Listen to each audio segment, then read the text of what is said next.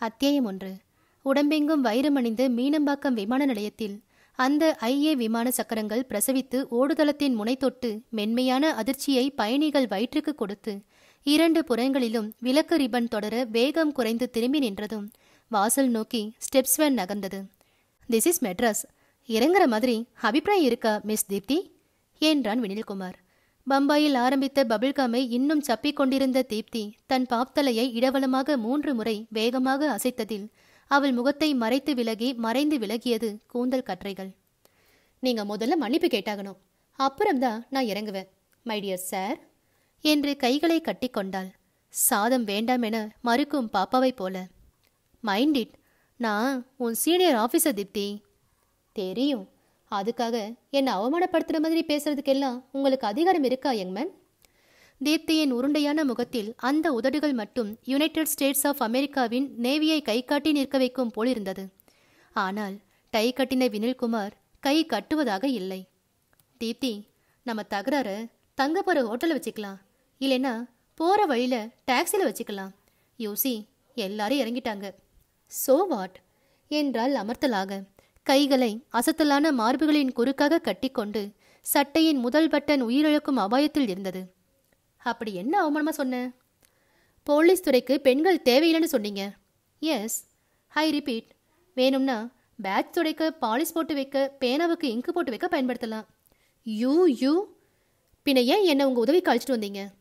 யாரு? நானா? Joke of the new year அரசாங்கத்தோட பழுப்பு காகிதமும் அதில் உள்ள பச்சை கையெழுத்தும் செஞ்ச வேலை. உனக்கு நான் ட்ரைனிங் கொடுக்கணுமா? எனக்கு தெரியும். நீ எப்படி உள்ள சேர்ந்தன்னு. இப்படியெல்லாம் பேசினா எனக்கு அழுக வரும். என்கிட்ட கர்ச்சிஃப் இல்லை. ஹெல்ப் யுவர் செல்ஃப் நான் போகிறேன் பிளேனை கொண்டு போய் ஹேங்கரில் நிறுத்துற வரைக்கும் எங்கேயே இருக்கிறதா இருந்தாலும் எனக்கு அப்ஜெக்ஷன் இல்லை. மெதுவா வா. Hotel Touchwood room number five naught seven right Vinilkumar தனது பிரீஃப் கேஸை எடுத்துக்கொண்டு மஃப்ளரை கழுத்தில் விசிறி விமானத்தை விட்டு இறங்கினான். கன்வேயர் பெல்ட்டில் அனாதையாக சுழன்று கொண்டிருந்த இவனுடைய மற்றும் அவளுடைய பெரிய பெட்டியை பார்த்தான். முதலில் தன்னுடையதை மட்டும் எடுத்துக்கொண்டான் மூன்று வினாடி யோசனைக்கு பின் அவளுடையதையும் எடுத்து ஒரு ட்ராலியில் வைத்து திரும்ப தேங்க்யூ ஹவாட் என்றாள் முதுகில் தீப்தி. உன் மேலே இறக்கப்பட்டு எடுக்கல. திருட்டு போயிடக்கூடாதுன்னு எடுத்து வச்சேன். டாக்ஸி ஏறதுக்கு முன்னாடி துப்பிடு. எனக்கு பிடிக்கல. கிழவி பாக்கு மெல்ற மாதிரி ஹோல் ஜர்னி. துப்பியாச்சு என்றால் நடந்து கொண்டே. ஒரு குப்பை பேஸ்கெட்டில் துப்பி நிமிந்த தீப்தி. லெட்டஸ்ட் டாக் எந்த வகையில் போலீஸுக்கு பெண்கள் அன்ஃபிட்டு டைம் என்ன Deepti? Ten minutes to ten இந்தியாவில் இந்த மார்கழி மாத குளிர் ராத்திரில இப்போ யாரும் வாதம் பண்ணிட்டு இருக்க மாட்டாங்க. நாம நாளைக்கு பேசலாம். Will you please keep quiet Vinilkumar taxi அமர்த்தி பின் சீட்டில் அமர்ந்து அவளுக்காக மற்றொரு கதவை திறந்துவிட அவள் அதை கோபமாக சாத்தி பின்புறம் திறந்து டிரைவருக்கு அருகில் அமர்ந்து கொண்டாள். கார் புறப்பட்டது. வினில்குமார் விரல்களால் தலையை கோதிக்கொண்டு டிரைவர் என்று அவன் தோளில் தட்டி சிகரெட் பாக்கெட்டை நீட்ட டிரைவர் ஒன்றை உருவிக்கொண்டு தேங்க்ஸ் சார் என்றான். லைட்டரில் தன்னுடையதை பற்ற வைத்துக் கொண்டு முன்புறம் இயக்கி டிரைவர் சிகரெட்டுக்கு பற்ற வைத்தான் தீப்தி யூ ஸ்மோக்? என்றான் கிண்டலாக. ஷுவர் ஆனா இந்த மட்டமான பிராண்ட் இல்ல. சீராக தடுக்கி தடுக்கி அவளின் வலது கன்னத்தை தொட்ட சாலை விளக்கின் வெளிச்சத்தில் காதோர பூனை ரோமங்களும் கடைவாய் பல் இறுக்கத்தின் மெல்லிய அசைவுகளும் ரசிக்க தகுந்ததாய் இருந்தது ஹோட்டல் டச் அவுட் நேரு சிலைக்கு அருகாமையில் ஆறு மாடிகளுடன் நின்றது. ரிசப்ஷன் ஃபார்மாலிட்டிஸ் முடிந்து லிஃப்ட் உபயோகித்து வரந்தாவில் நடந்தே பத்து நிமிடங்களில் அவர்கள் அந்த பெரிய அறைக்குள் இருந்தார்கள். கதவை சாத்தியதும் சொன்னான் சில அடிப்படையான விஷயங்களை மனசுல முதல்ல வாங்கிக்க. எனக்கு விருப்பமோ இல்லையோ? இந்த கேஸ்ல நீ தான் எனக்கு அசிஸ்டன்ட் உனக்கு பிடிக்குதோ இல்லையோ? நான் தான் உன் மாஸ்டர் முதல் விஷயம் கேள்வி கேட்காத சொல்ல வேண்டிய எதையும் நானே சொல்வேன். நான் சொல்ற எதையும் சின்சியரா செய். இந்த ஹோட்டலை பொறுத்த வரைக்கும் நம்ம யார் தெரியுமா? தெரியும். நீங்க மிஸ்டர் சந்தோஷ் நான் மிஸ்ஸஸ் மாலினி சந்தோஷ். ஊர் சுத்தி பார்க்க தம்பதியா டூரிஸ்டா வந்திருக்கோம். சரியா? இத சொன்னதுக்கே பெருமிதமா? ரெண்டாம் வாய்ப்பாடு எல்லாரும் சொல்வாங்க. இப்போ எனக்கு குளிருது என்று சோம்பல் முறைத்தான் வினில்குமார். ஹே அதுக்கு? என்று நெஞ்சில் கை வைத்து மிரண்டாள். டோன்ட் பி சில்லி குளிச்சுட்டு அப்படியே வந்து நின்னா கூட நான் உன்னை டச் பண்ண மாட்டேன். பிகாஸ் நீ என் ஜூனியர் ஹார்ட் ட்ரிங்க்ஸ் ஆர்டர் பண்ண போறேன். உனக்கு மறுப்பில்லைன்னு கேட்டேன். எனக்கு ஆஃப் பாட்டில் பியர் சேர்த்து சொல்லுங்க. நானும் குளிச்சுட்டு வந்துடுறேன். தீப்தி பாத்ரூமிற்குள் செல்ல வினில்குமார் கட்டிலில் சாய்ந்து அமர்ந்து இன்டர்காம் எடுத்து ஆர்டர் செய்தான். ஜன்னல் திரைகளை விளக்கி இரவு சென்னையை பார்த்தான். ஹோட்டலின் நீச்சல் குளம் தெரிந்தது. இரண்டு பேர் குளித்துக் கொண்டிருந்தார்கள். வினில்குமார் பாத்ரூம் கதவை தட்டினான். தேத்தி உனக்கு நீச்சல் தெரியுமா? எல்லா ஸ்டைலும் தெரியும். ஹோட்டலில் ஸ்விம்மிங் பூல் போயிட்டு வரலாமா? நீங்கள் போங்க. எதுக்குண்ணா? நடு நடுவில் திட்டுறதுக்கா? நீ இவ்வளவு சென்சிட்டிவா சாரி சொல்லணுமாண்ணா? ஆமாம் கடமையாக இல்லை. உணர்ந்து. Better you bath in the room என்றவன் நடந்து மீண்டும் இன்டர்காம் எடுத்து நான் ஆர்டர் செஞ்சதை முக்கால் மணி நேரம் கழித்து அனுப்பி வச்சா போதும்? என்று சூட்கேஸ் திறந்து நீளமான டவல் எடுத்தான். பேண்ட் சட்டை மட்டும் கலைந்து ஜட்டி மேல் ஒரு ஆஃப் பேண்ட் மட்டும் அணிந்து கழுத்தில் டவல் போட்டுக்கொண்டு அறையை சாத்தி புறப்பட்டான். ஹோட்டலின் கீழ்த்தளத்தில் நீச்சல் குளம் போகும் வழியில் ஹாட்லைன் டெலிபிரிண்டரில் லேட்டஸ்ட் செய்திகள். வரி வரியாய் வந்து கொண்டிருக்க நின்று காகித வாளை உயர்த்தி பிடித்து சில செய்தியை படித்தான். பிறகு நீச்சல் குளம் வந்து நிமிர்ந்து வியந்தான். டைவிங் போர்டில் சிங்கிள் பீச் நீச்சலுடையில் நின்று கொண்டிருந்த தீப்தி ஹாய் என்றாள். அந்தரத்தில் ஒரு ட்விஸ்ட் அடித்து நீல தண்ணீரை கிழித்து உள்ளே சென்றாள். டவலை ஓரமாக ஒரு நாற்காலில் வீசிவிட்டு உள்ளே குதித்த வினில்குமார் மேற்பரப்புக்கு வந்து அவளை தேட ஒரு ரப்பர் படுக்கையில் கால் நீட்டி பெருமாளாக படுத்திருந்தாள். வண்ணப்பந்தை அவன் மேல் எறிந்தாள். வினில் நீந்தி அந்த படுக்கையை அடைந்து இந்த நிமிஷம் என் மனசுல ஓடுற வரிய உடனே சொல்லி அவனு தித்தி இல்லைன்னா எனக்கு நரகம்தான் சொல்லுங்க. யூ ஆர் பியூட்டிஃபுல் நான் உங்க சீனியர் மைண்டட் சார் கண்ணடித்தாள் தீப்தி. வினில்குமார் முதல் முறையாக அவளை நேராக பார்த்து சிரித்தான். அத்தியாயம் இரண்டு. பதினாறு கார்டுகளை ஐந்து முறை கலைத்து சங்கரனுக்கும் தனக்கும் மூன்று மூன்று கார்டுகள் போட்டான் யாதவ். இரண்டு பேரின் எதிரிலும் கசங்கின ஒரு ரூபாய் இரண்டு ரூபாய் நோட்டுகள் வேர்க்கடலை தோல் போல குவியலாக இருக்கு. சங்கரனின் கிளாஸில் பாதி விஸ்கி அப்படியே இருந்தது. அரை முழுக்க சிகரெட் புகையும் அதை களைத்துக்கொண்டு வெச்சாலும் வெக்காம போனாலும் மல்லிவாசம் அது குத்தால கைவாசம். சங்கரன் தன் நரைத்த தாடியை ஒரு தரம் கோதிவிட்டு கொண்டு தனது மூன்று கார்டுகளை கையில் தேர்ந்தெடுத்தான். முதல் காடு ஏ. மெதுவாக இரண்டாவது விளக்கி பார்த்தான். அதுவும் ஏ. லேசாக படபடக்க துவங்கிய நெஞ்சுடன் மூன்றாவது காடை பார்த்தான். அது கே. சப்பென்று போனது. ஆனாலும் இரண்டு ரூபாயை தூக்கி போட்டான். யாதவ் மேஜையின் இடுக்கு பள்ளத்தில் ஊதுபத்தி போல செருகி வைத்திருந்த தன் சிகரெட்டை எடுத்து ஊதிவிட்டு இரண்டு ரூபாயை தூக்கி போட்டான். என்ன தாத்தா? பதுங்குறியா பாயிரியா தாத்தானா பேத்துருவன் பல்ல. பின்ன? வாலிப முறுக்கோ? வயசு என்ன ஐம்பத்தி ஐம்பத்தி ரெண்டு தாண்டா ஆனால் உன்னை விட டபுள் மடங்கு வேலை செய்வேன். உடம்புல அவ்வளவு தெம்பு இருக்கு. நிஜமா? பந்தயம் வச்சுக்கலாமா? தாராளமா. என்ன? நான் நாலு செங்கல் தூக்கினா நீ எட்டு செங்கல் தூக்குற. அப்படிதானே? ஆமாம் இப்போ நான் நம்ம கல்யாணியை வரவழைச்சு ரெண்டு ஷோ நடத்தினா நீ நாலு ஷோ நடத்துகிற அப்படித்தானே? ஹலோ தாத்தா. ஆயிரம் ரூபாய் பந்தயம் வச்சுக்கலாம். மன்னர் காலம்னா ஆயிரம் பொற்காசுகளே வைப்பேன். கோபமா வருது கோபம்? இங்க ஆடுத ஆடு தாத்தா. சங்கரன் மௌனமாக தன் மூன்று கார்டுகளை ஒரு தரம் பார்த்துவிட்டு நான்கு ரூபாயை போட்டு ஓபன் என்றான். யாதவ் தன் சீட்டுகளை காட்ட அங்கே கே கே ஏ. இப்படின்னு தெரிஞ்சிருந்தா இன்னும் கட்டியிருப்பனே என்று பணத்தை தன் பக்கம் வாரிக்கொண்ட சங்கரன் கார்டுகளை அடுக்கி கலைக்க துவங்கினான். உன்னை ஒன்று கேட்கணுமே தாத்தா.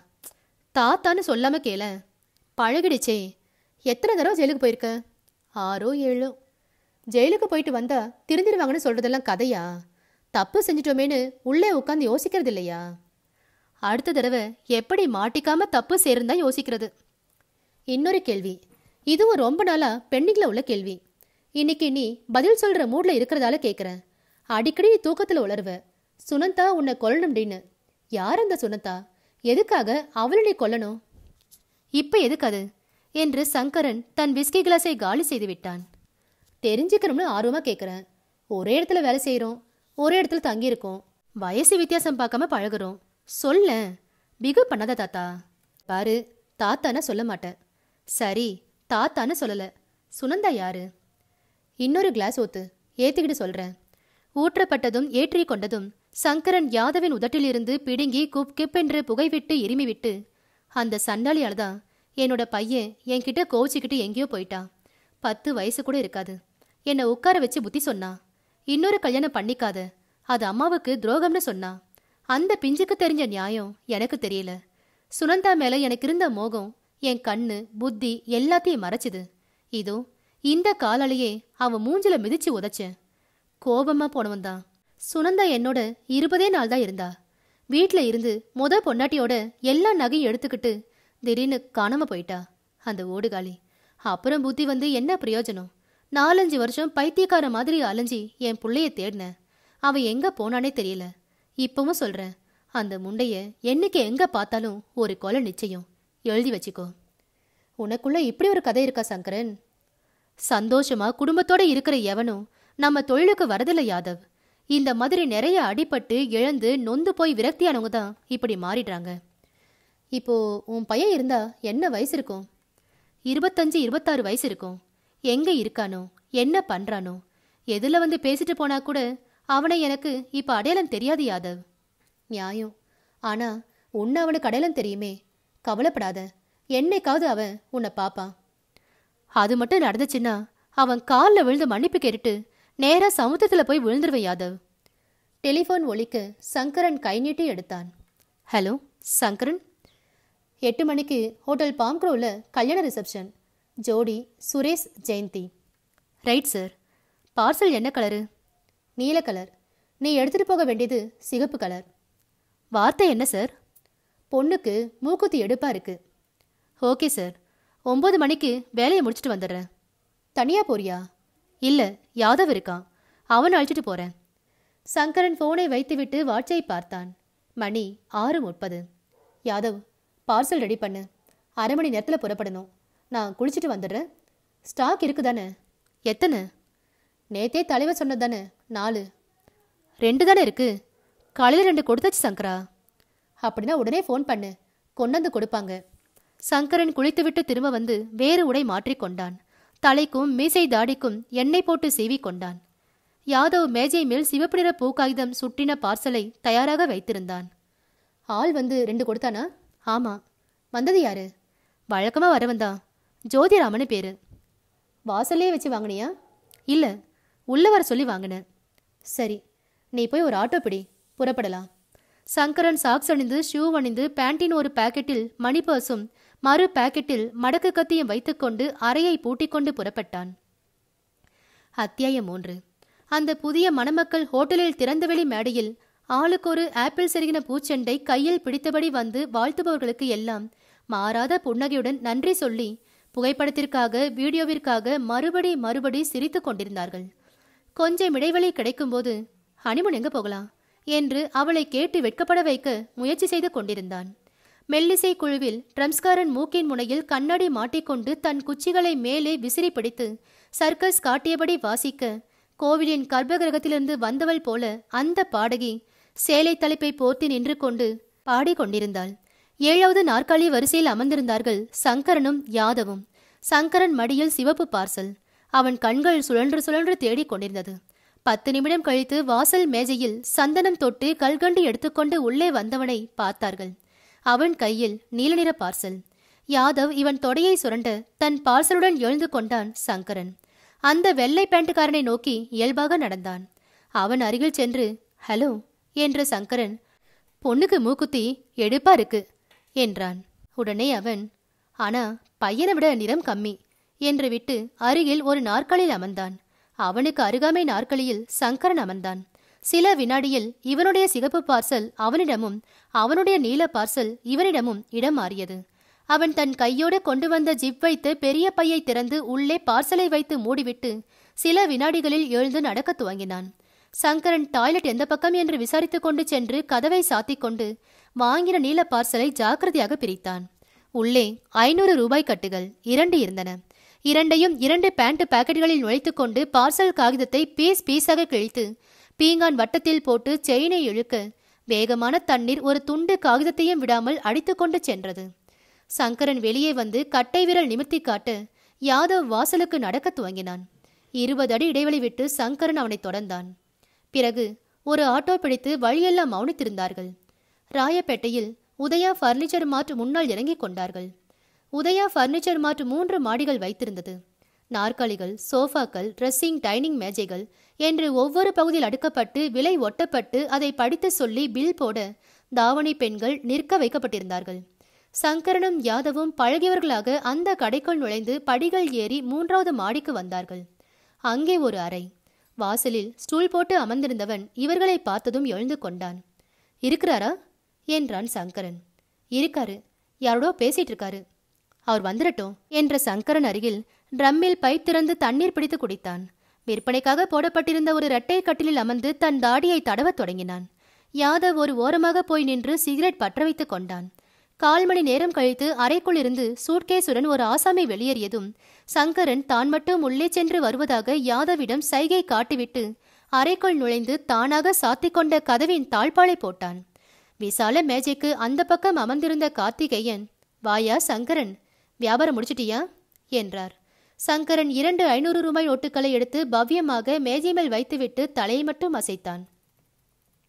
சமீபத்தில் மொட்டையடித்து மீண்டும் வளர துவங்கியிருந்த குத்தூசி தலைமுடியும் நெற்றியில் குங்கும பொட்டுமாக இருந்த கார்த்திகேயன் முழுக்கை சட்டை போட்டு அதன் கைகளை முழுங்கை வரை மடக்கிவிட்டிருந்தார். பாலியஸ்டர் வேஷ்டி. கார்த்திகையன் மேஜை டிராயரை திறந்து இரண்டு கட்டுகளையும் எடுத்து உள்ளே போட்டுக்கொண்டே எதுவும் பிரச்சனை இல்லையே. இல்லை தலைவரே. யாதவ் புது ஆளு.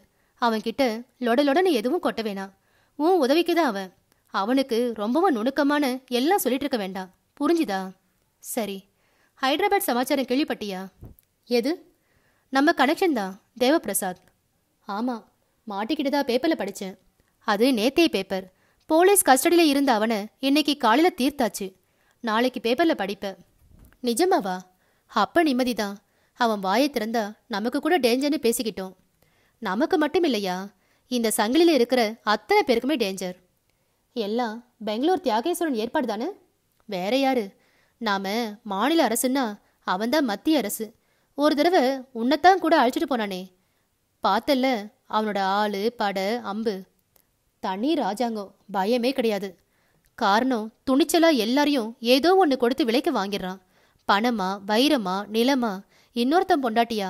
எதை கேட்டாலும் மறுநாள் கொண்டு போய் காலடியில் வச்சிடுறான். அகால மரணமா ஆடம்பர வாழ்க்கையான்னு யோசிச்சு அவனவன் சலாம் போட்டுடுறானுங்க. இங்கே தான் சில பேஜார் பிடிச்ச அதிகாரிங்க நேர்மை நேர்மைன்னு காலத்துக்கு பொருந்தாம கத்திக்கிட்டு நம்ம உசுரை எடுக்கிறாங்க. அதனால நம்மளை பொறுத்த வரைக்கும் எந்த புதிதையும் நம்ப முடியல. நம்ம பால்வாத்த பாம்பே கூட நம்மளை கொத்த வருது. அதனால பயந்து தான் செய்ய வேண்டியிருக்கு. மேலே பேச்சை தொடர விடாமல் ஃபோன் ஒழித்தது ஹலோ உதயா ஃபர்னிச்சர் மார்ட் என்றார் கார்த்திகேயன்.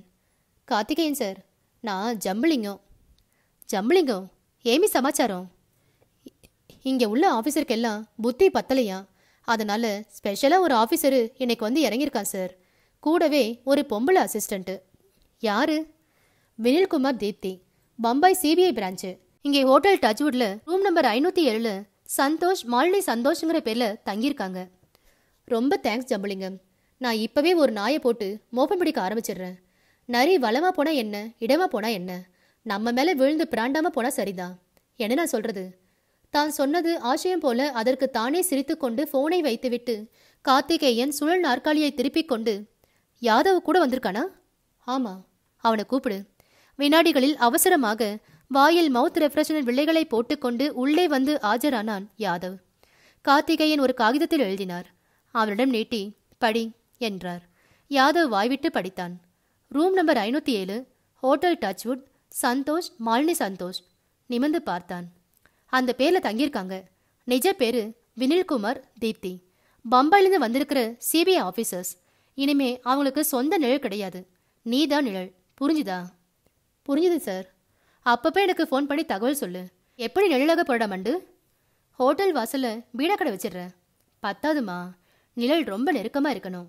ஐநூற்றி ஆறு இல்லைனா ஐநூற்றி எட்டு ரூமில் தங்கிக்க. நீ தான் கேதாரம் சேட்சி. புரியுதா? சப்ஜாடா வேஷம் மாற்றி போய் தங்கு. ஒட்டு கேட்க மைக்ரோஃபோன் அது இதுன்னு பெட்டி நிறைய வச்சு சங்கரன் தருவான். செலவை பற்றி கவலையே படாத. ரூம் பையன்களுக்கு வாரி விடு.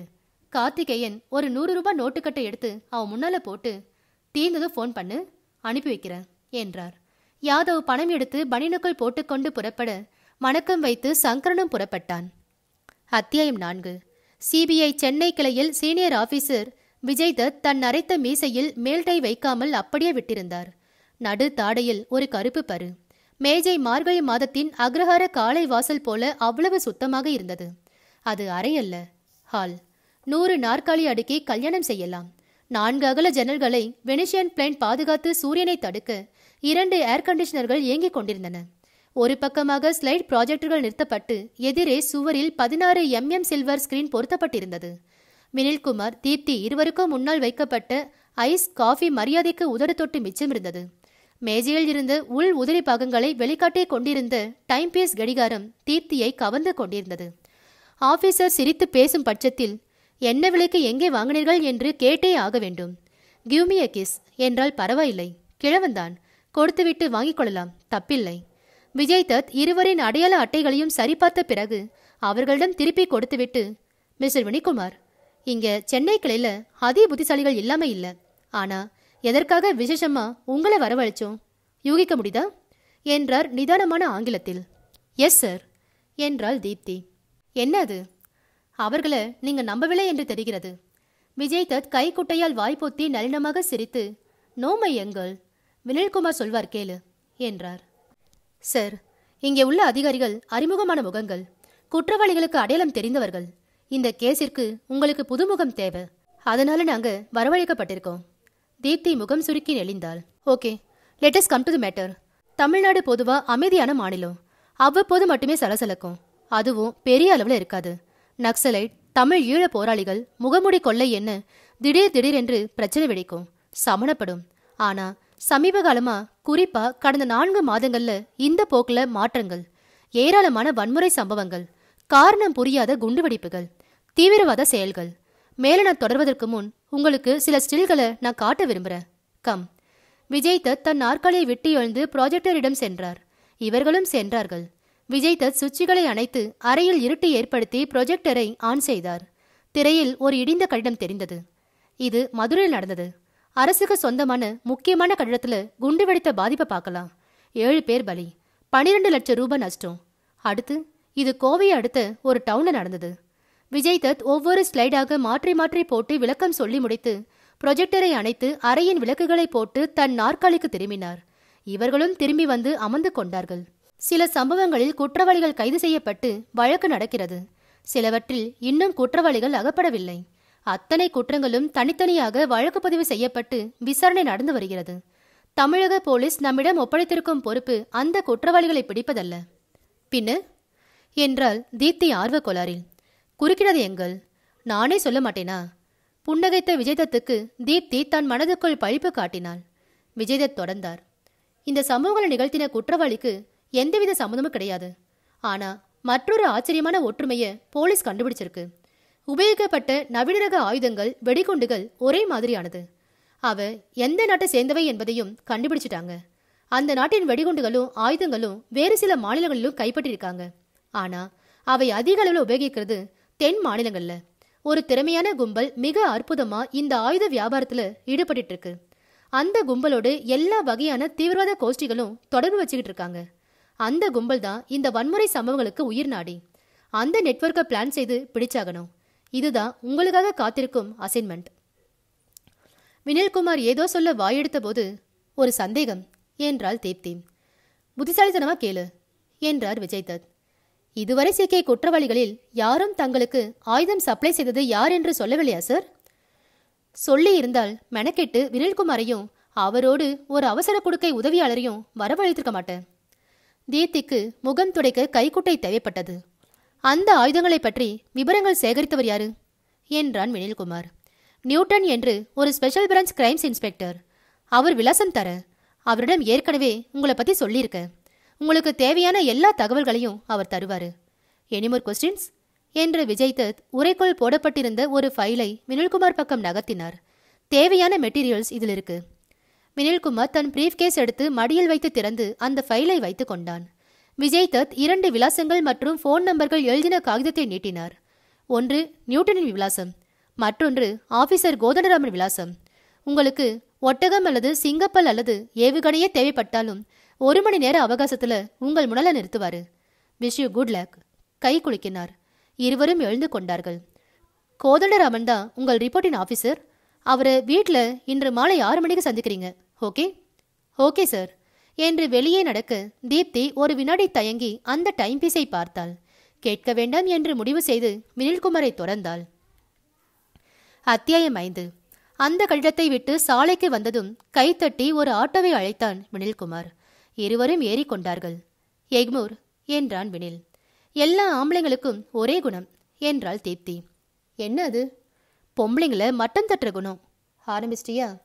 மிஸ்டர் விஜய் தத் எவ்வளவு கிண்டலு? நீ அவருக்கு அப்பப்போ தீனி வேற போட்ட. உங்கள் உதட்டுக்குள்ள எவ்வளவு நமட்டு சிரிப்பு? நேச்சுரலி பைத்தியக்காரத்தனமாக எதையாவது உளறி கொட்டிக்கிட்டு இருந்தா சிரிப்பு வராதா? லிசன் இந்த பொம்பளைங்களுக்கு அழகான உறுப்பு வாய். ஆபத்தான உறுப்பும் அதே வாய் தான். சந்தேகம் கேட்கக்கூடாதா? நூறு தடவை மனசுக்குள்ளே யோசிச்சு தான் கேட்கணும். ஏன் தலையெழுத்து உன்னை வச்சு மேய்க்கணும்னு இருக்கு. இதை பாரு மறுபடி சொல்கிறேன் புலம்பாத. உண்மையில ஏதாச்சும் மசாலா இருந்தா ப்ரூவ் செய். எப்படி?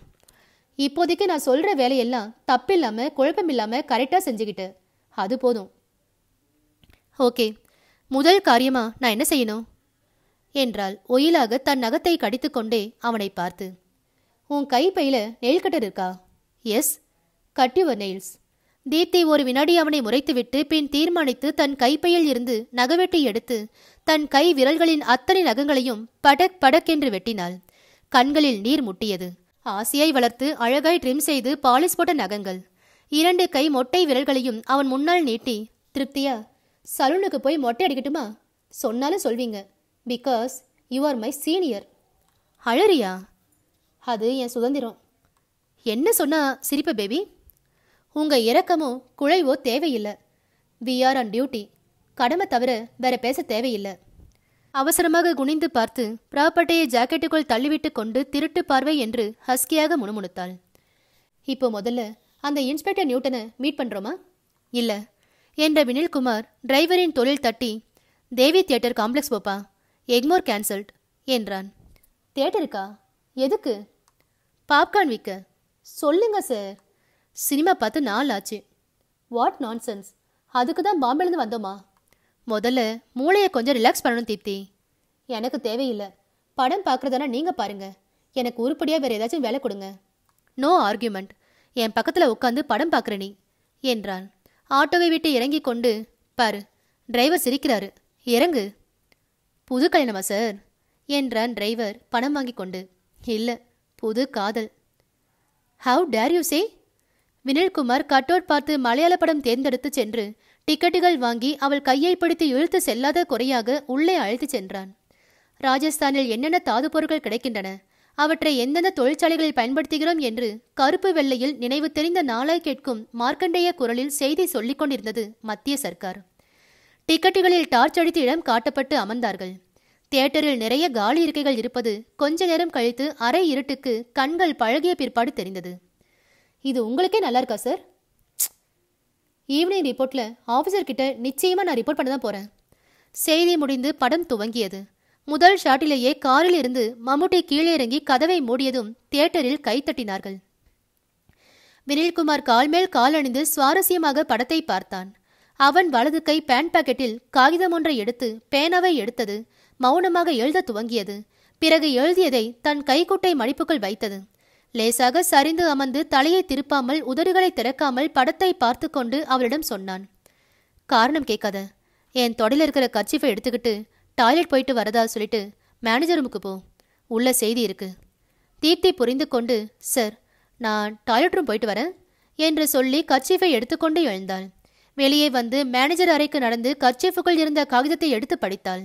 அதில் இன்ஸ்பெக்டர் நியூட்டனுக்கு ஃபோன் செய்யவும். அவரை மஃப்டி உடையில் உடனே புறப்பட்டு இந்த தியேட்டருக்கு ரிவால்வருடன் வர சொல்லவும் நமது சீட் எண்ணை சொல்லவும் அவரை இயல்பாக நமது அடுத்த சீட்டில் வந்து அமர சொல்லவும் காரண காரியம் யோசிக்காமல் உடனே ஃபோன் செய்து சொல்லிவிட்டு வந்து அமரவும் என்று குறுக்கலாக எழுதியிருந்தது. தீப்தி தோள்களை ஒருமுறை குலுக்கிக் கொண்டு அனுமதி பெற்று ஃபோன் செய்ய துவங்கினாள். சுருக்கமாக தன்னை அறிமுகப்படுத்திக் கொண்டு வினில் குறிப்பிட்ட விவரங்களை சொல்லி வைத்துவிட்டு மறுபடி வந்து வினில்குமாரின் அருகில் அமர்ந்து கொண்டாள். மெதுவாக கேட்டாள் யாராச்சும் நம்மளை ஃபாலோ பண்றாங்களா? ஷட்டப் என்றான் சன்னமாக ஆனால் கோபமாக. அரை மணி நேரம் கழித்து ஒரு இருட்டு உருவம். கதவு தள்ளி உள்ளே வந்து வரிசை பார்த்து நடந்து வினில்குமாருக்கு அடுத்த சீட்டில் அமர்ந்து ரகசியமாக கை கொடுத்து நியூட்டன் என்றது. வினில்குமார் முன்போலவே திரையை பார்த்து கொண்டே உதடு திறக்காமல் பேசினான். Glad to meet you sir விபரமா அப்புறம் பேசிக்கலாம். இதே வரிசையில கடைசி சீட்டில் ஒரு சேட்டு உட்காந்துருக்காரு அவர் என்ன ஃபாலோ பண்ணிட்டு இருக்காரு? அநேகமாக நாங்கள் காலையில் ஹோட்டலில் புறப்பட்டதுலேருந்தே ஆரம்பிச்சிருக்கணும். கொஞ்ச நேரம் கழிச்சு நாங்கள் புறப்பட போகிறோம் நிச்சயமா அவன் ஃபாலோ பண்ணுவான். சந்தேகப்படாதபடி அவனை நீங்க ஃபாலோ பண்ணணும். நாங்கள் போக்க காட்டி மறைஞ்சிருவோம். அதுக்கப்புறம் அவன் எங்கே போகிறான் யாருக்கு மெசேஜ் தரான்னு நீங்கள் பாருங்க. மத்தியானம் லஞ்சுக்கு நாங்கள் ஹோட்டல் போயிடுவோம். ஈவினிங் அஞ்சு மணி வரைக்கும் உங்க ஃபோனுக்காக காத்திருப்போம். ஓகே சார் ஓகே என்றார் நியூட்டன் உற்சாகமாக. பல நிமிடங்கள் இடைவெளி விட்டு சற்று உறக்க சொன்னான் வினில்குமார். படம் போர் அடிக்கல? ஆமா என்றாள் தீப்தி. போயிடலாம் என்று எழுந்தான். தீப்தியும் அவனும் வெளியேறிய சில வினாடிகள் கழித்து சேட் எழுந்தார். அவர் எழுந்து வெளியேறியவுடன் நியூட்டன் எழுந்தார். அத்தியாயம் ஆறு. Hotel Touchwood. மாலை வெயில் மணப்பெண் போல ஏராளமாய் மஞ்சள் தேய்த்து குளித்திருந்தது. கையில் பென்சிலுடன் அதிகாரி விஜய்தத் கொடுத்த ஃபைலை பக்கம் பக்கமாக கவனமாக பார்த்து கொண்டிருந்தான் வினில்குமார். டெலிவிஷனில் கார்ட்டூன் வீடியோ படம் போட்டுக்கொண்டு கையில் இருந்த குளிர்பானத்தை அரை மணி நேரமாக சொட்டு சொட்டாய் உறிஞ்சிக் கொண்டிருந்தாள் தீப்தி.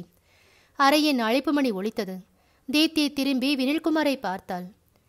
பீப் ஹோல் வழியா பார்த்துட்டு தர. பார்த்துவிட்டு இன்ஸ்பெக்டர் நியூட்டன் என்று விட்டு திறந்தாள். நியூட்டன் உள்ளே வந்தார். நீராவி ரயில் இன்ஜினைப் போல ஒரு நீண்ட மூச்சு விட்டார். அவசர தாகத்திற்காக பானையோடு கவிழ்த்து சட்டையெல்லாம் நனைந்து கொண்டதைப் போல அப்படி வியத்திருந்தார் உட்காருங்க சார். என்ன ஆச்சு என்றான் வினில். நான் ரொம்ப வெக்கப்படுறேன் சார். ஏன் நான் அவனை மிஸ் பண்ணிட்டேன். என்னை அவனை கவனிக்கக்கூடாதுன்னு எச்சரிக்கையை தான் ஃபாலோ செஞ்சேன். ஆனாலும் அவன் எப்படியோ புரிஞ்சுக்கிட்டான்னு நினைக்கிறேன். டிமிக்கி கொடுத்துட்டான். பத்தாததுக்கு ரெண்டு இடத்துல பாழா போன டிராஃபிக் சிக்னல் வேற குறுக்க வந்துடுச்சு really I am ashamed to say sorry விடுங்க பரவாயில்ல. அவன் காலையிலேருந்தே எங்களை ஃபாலோ செஞ்சுருக்கணும். எனக்கு அவன் முகம் பதிவாயிடுச்சு. மறுபடி நிச்சயமாக முயற்சி செய்வான். அவன் மேலே நம்ம நேரத்தை வீணடிக்க வேணாம். சிகரெட்? தேங்க்யூ என்று ஒன்றை உருவி கொண்டார். தீப்தி காஃபி சொல்ல. தீப்தி இன்டர்காம் எடுத்து பேசிவிட்டு டெலிவிஷனை அணைக்கச் சென்றாள். லீவ் இட் அது பாட்டுக்கு ஓடட்டும். தொந்தரவா இல்லை. இப்போ சார் மூணு வெடிகுண்டு சம்பவங்கள் எனக்கு முக்கியமாகப்படுது ஃபைலில் பார்த்ததில்ல தேனி கோயம்புத்தூர் மணப்பாறை. இந்த மூணு கேஸ்களையும் நீங்கள் தான் கடைசியாக டீல் பண்ணியிருக்கீங்க இந்த சம்பவங்கள்ல எதிரிங்க பயன்படுத்தின வெடிகுண்டுகள் ஒரே வகையான தயாரிப்புங்கிறதுல உங்களுக்கு சந்தேகம் இல்லையே இல்லை சார் ஃபோட்டோஸும் லேப் ரெக்கார்டும் கொண்டு வந்திருக்கேன் நியூட்டன் தான் கொண்டு வந்த சூட்கேஸ் திறந்து உள்ளிருந்து மூன்று நான்கு ஃபைல்களை எடுத்து வெளியில் வைத்தார். அதையெல்லாம் நான் நிதானமாக படிக்கிறேன். இந்த சம்பவங்களை ஈடுபட்ட எதிரிகள் நிச்சயமா வெவ்வேறு கும்பல் தான் அதுலேயும் நீங்கள் உறுதியாக இருக்கீங்க. Right yes sir no arrest yes no arrest அவ்வளவு சாமர்த்தியம். கிடைச்ச ஃபிங்கர் பிரிண்ட்ஸ் எல்லாமே புதுசு. அறையின் அழைப்பு மணி ஒழித்து அனுமதி தரப்பட்டதும் காஃபியுடன் ரூம்பாய் உள்ளே வந்தான். அவன் சென்றதும் வினில்குமார் ஓகே இதெல்லாம் இருக்கட்டும். நாளைக்கு காலையில் எனக்கு ஒரு லிஸ்ட் வேணும். தயாரித்து தர முடியுமா? என்ன லிஸ்ட் சார் கடந்த ஒரு வருஷத்துல தமிழ்நாடு முழுக்க பயங்கரமான வெளிநாட்டு ஆயுதங்களை கையில வச்சிருந்ததா அரெஸ்ட் செய்யப்பட்டவங்களோட லிஸ்ட் வேணும். பதினஞ்சு நாள் ஒரு மாசம் சிறை தண்டனையோட அவங்க விடப்பட்டிருக்கலாம். அப்படி ஆயுத குற்றத்தில் சிறை வைக்கப்பட்டு வெளியில் விடப்பட்டவங்களோட லிஸ்ட்டு அவங்க எந்த சிறையில் வைக்கப்பட்டிருந்தாங்கங்கிற விவரங்கள். இது எல்லாம் வேணும். நியூட்டன் எழுந்து கொண்டு நீங்கள் கேட்ட லிஸ்ட்டை காலையில் தர பார்க்குறேன் முடியலைன்னா ஈவினிங்குள்ளே தந்துடுறேன். ஓகே. என்று கை குலுக்கின வினில்குமார் அப்புறம் நான் தியேட்டர்லேருந்து வந்ததுமே இந்த ரூமில் ஏதாவது மைக்ரோஃபோன்ஸ் ஒழிச்சு வைக்கப்பட்டிருக்கான்னு செக் பண்ணிட்டேன். அப்படி எதுவுமே இல்லை. ஆனால் ஏதாவது கண்ணுக்கு தட்டுப்படாத பக்கிங் சிஸ்டம் இருக்கான்னு கண்டுபிடிக்கிற சென்சார்ஸ் உங்கள் டிபார்ட்மெண்ட்டில் இருக்கும். அதை யார்கிட்டையாவது கொடுத்து அனுப்ப முடியுமா? செக் பண்ணிக்கிறது நல்லது. ஷுவர் நான் அனுப்பி வைக்கிறேன். உங்கள் ரூமுக்குள்ளேயே கொண்டு வந்து மைக்ரோஃபோன் வைக்கிற அளவுக்கு விவரமான குற்றவாளிகள் இன்னும் தமிழ்நாட்டில் தயாராகல சார் என்று சிரித்துக்கொண்டே சொன்ன நியூட்டன் புறப்பட்டார். அடுத்த அறையில் காதில் ஹியரிங் செட் மாட்டிக்கொண்டு அத்தனை உரையாடல்களையும் கேட்டுக்கொண்டிருந்த யாதவ் சுவரில் ஒட்டி வைத்திருந்த வால் ஸ்லூப்பர் கருவியை அதன் வேப்பப்பிடியில் இருந்து விடுவித்து எடுத்தான். தமிழ்நாட்டு குற்றவாளிகளை ரொம்ப மட்டமாக நினைத்து விட்டீர்கள் துப்பறியும் புலிகளே. யாதவ் போனை எடுத்தான். ரிசப்ஷனில் நம்பர் சொல்லி தொடர்புக்காக காத்திருந்தான். ஃபோன் மணி எதிர்முனையில் அடிக்க ஆரம்பித்தது. ஹலோ சங்கரன்? தாத்தா நான் யாதவ் பேசுகிறேன் டச்வுட் ஹோட்டல்லேருந்து பேசுகிறேன் நான் அந்த சிபிஐ ஆஃபீஸர்களை ஃபாலோ பண்ணுறதை அவங்க புரிஞ்சுக்கிட்டு என்ன மடக்க லோக்கல் இன்ஸ்பெக்டரை ஏவிட்டாங்க. நான் தண்ணி காட்டிட்டு அவங்க பக்கத்து ரூம்லயே உட்காந்து அவங்க பேசுறதெல்லாம் கேட்டுக்கிட்டு ஆனந்தமா பீர் குடிச்சிக்கிட்டு இருக்கேன். அடப்பாவி அவங்க கையில் மாற்ற போற. மாட்டேன். நான் இனிமே ரூமை விட்டு வெளியில் வர இல்லை.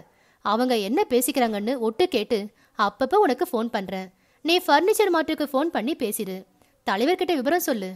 அவங்கள ஃபாலோ பண்ணணும்னா வேற ஆளை ஏற்பாடு செய்ய சொல்லு. நான் ஒட்டு கேட்டு தகவல் மட்டும் அனுப்புறேன். ரூமை விட்டு வர்றது வரைக்கும் பிரச்சனையே இல்லை. நீ தலைவர்கிட்ட விவரமாக பேசு. ஒருவேளை இது டேஞ்சர்னு ஃபீல் பண்ணி என்னை வர சொல்லிட்டா நைஸாக வந்துடுறேன். சரி கேட்டு சொல்கிறேன் அந்த குட்டி தீத்தி என்ன சிக்கல் இருக்கா தெரியுமா தாத்தா? யாதவ் எச்சரிக்கையா இரு. சிரித்துக்கொண்டே போனை வைத்த யாதவ் கையில் இருந்த பீர் பாட்டிலை மீண்டும் வாயில் கவிழ்த்து கொண்டான். அத்தியாயம் ஏழு. மூன்று தினங்கள் கழித்து சங்கரன் எழுந்தான். சோம்பல் முறித்தான். எழுந்து லுங்கியை சரியாக கட்டிக்கொண்டு தேதி கிழித்தான். பல் விளக்கிவிட்டு வாசலில் ஜன்னல் கம்பியில் கட்டப்பட்டிருந்த துணிப்பைக்குள் போடப்பட்டிருந்த பாக்கெட் பாலையும் கதவிடுக்கின் வழியாக தள்ளப்பட்டிருந்த தினத்தந்தியையும் எடுத்துக்கொண்டான் சமையல் பகுதியில் கேஸ் அடுப்பை பற்ற வைத்து பாலை பாத்திரத்தில் ஊற்றி வைத்துவிட்டு ஸ்டூலில் அமர்ந்து பேப்பரை புரட்டினான். தலைப்புச் செய்திகளோடு மேய்ந்தான். நான்காவது பக்கத்தில் கட்டம் கட்டி வெளியிடப்பட்டிருந்த விளம்பரம் அவனை ஈர்த்தது. அன்புள்ள அப்பா நீ எங்கே இருக்கிறாய்? அப்பா ஏதோ கோபத்தில் உன்னை விட்டு பிரிந்தேன். எங்கோ சென்றேன் எப்படியோ வளர்ந்தேன். வாழ்க்கை எனக்கு நினைவுறுத்தாத பாசத்தை சாவி நிழல் அடையாளம் காட்டுகிறது. ஆம் என் வாழ்வின் இறுதி கட்டத்தில் இருக்கிறேன். இப்போது எனக்கு உங்களை பார்க்க வேண்டும் என்று ஆவலாக உள்ளது. இதை நீங்கள் படிப்பீர்களா அப்பா? என்னை பார்க்க வருவீர்களா அப்பா? நம்பிக்கையுடன் தனபால். முகவரி தனபால் அறை எண் பதினேழு special ward Paramasivam clinic Adyar Chennai இருபது. விளம்பரத்துடன் ஒரு இளைஞரின் புகைப்படமும் வெளியிடப்பட்டிருந்தது. பாவம்! என்று வாய்விட்டு உச்சி கொட்டின சங்கரன் ஸ்டவ்வை அணைத்து பாலை இறக்கி காஃபி போட்டு குடித்தான். மறுபடி பேப்பரை புரட்ட நினைத்தவன் மீண்டும் அந்த விளம்பரத்தை பார்த்தான். இந்த முறைதான் நம்பிக்கையுடன் தனபால் என்பதை சரியாக அவன் மூளை வாங்கிக் கொள்ள ஜலீர் என்று ஒரு சிலிர்ப்பு அவன் உடலெங்கும் பரவியது. தனபால் தனபால் ஒருவேளை இது என் மகன் தனபாலா? மறுபடி விளம்பர வாசகத்தை படித்தான். புகைப்படத்தை உற்று பார்த்தான். சுருள் சுருளான கேசமும் அந்த மூக்கும் ஹட என் மகன் சாயலைதா? ஹட பாவி நீதானா? சங்கரனுக்கு சில நிமிடங்கள் எதுவுமே புரியவில்லை. சங்கரன் உடனே கைக்கு கிடைத்த சட்டையை எடுத்தணிந்து பணம் எடுத்து வைத்துக்கொண்டு வீட்டை பூட்டிக்கொண்டு கையில் பேப்பருடன் புறப்பட்டான். பரமசிவம் கிளினிக் பாலில் நழுவி விழுந்து எழுந்தது போல அத்தனை வெள்ளை வெளிர் என்று இருந்தது.